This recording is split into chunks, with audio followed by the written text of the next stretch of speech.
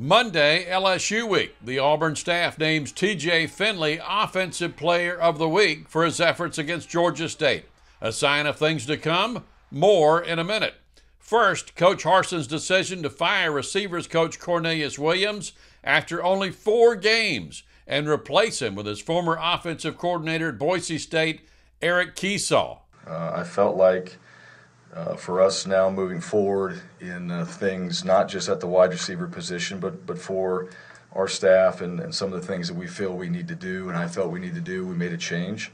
Um, Coach Williams, um, I got a lot of respect for him, and he did a very good job for us while he was here uh, of showing up and working hard and and doing those type of things. But I felt like, you know, in order for us to to continue to progress like I feel like we need to. Um, that change needed to be made, and, and, it needed to be made now, and and so I made that decision. I know I worked with Eric, with Coach Kiesau, uh, as an offensive coordinator at Boise State, as the wide receiver coach. Um, known him and known of him for a long time, and uh, I think he's a good technician. You know, he's a very good coach. He's he's very detailed. Um, that would be the one thing I would describe him as. He's a very detailed coach. He has a plan. He has a vision. He has um, things that I know will do at the wide receiver position that will help us improve. Hopefully, the move will help and the offensive staff can mesh quickly. Now, the quarterback situation will it be TJ and the homecoming in Baton Rouge, or is Bo Nix still under center?